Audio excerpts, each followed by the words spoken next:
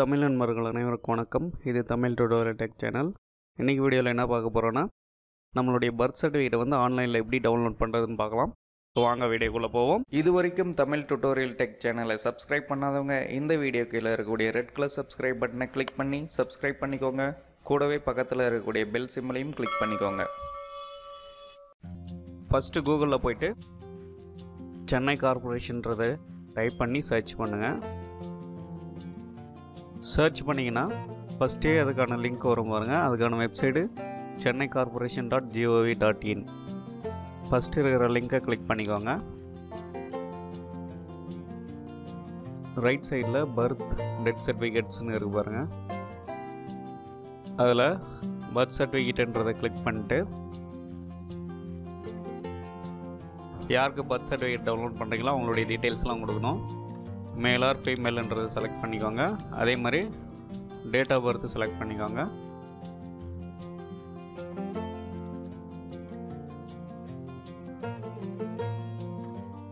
Date of birth select பண்ணதுக்கப்புறம் இங்கே ரெண்டு ஆப்ஷன்ஸ் இருக்கும்.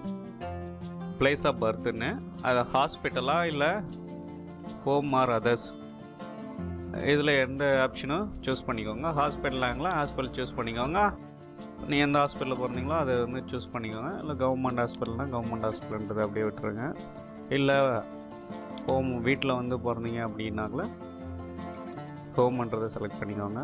நான் ஹாஸ்பிட்டல்ன்றதை செலக்ட் பண்ணுறேன் அது கீழே இந்த கோடை வந்து டைப் பண்ணணும்.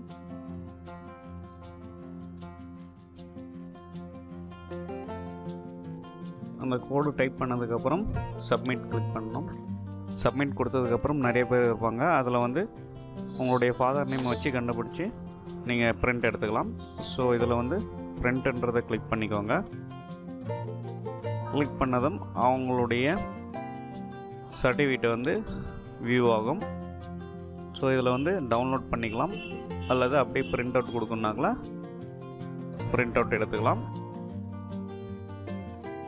ஸோ இவ்வளோ தான் ஃப்ரெண்ட்ஸ் ஸோ அதே மாதிரி இன்னொரு மெத்தடு இருக்குது இதில்.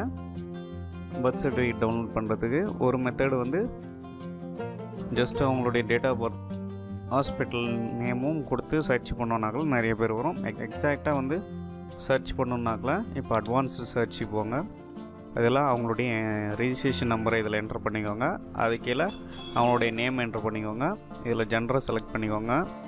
அது கீழே டேட் ஆஃப் பர்த் செலக்ட் பண்ணிவிட்டு ஹாஸ்பிட்டலாக இல்லை வீட்டில் பிறந்தாங்களான்றதை செலக்ட் பண்ணிவிட்டு கீழே அவங்களுடைய ஃபாதர் நேம் அதுக்கப்புறம் மதர் நேம் கொடுத்துட்டு அது கீழே இந்த கோடை வந்து கொடுத்தோன்னாக்கில் எக்ஸாக்டாக அவங்களுடைய டீட்டெயில்ஸ் வந்துடும் நீங்கள் டைரெக்டாக பிரிண்ட் எடுத்துக்கலாம்.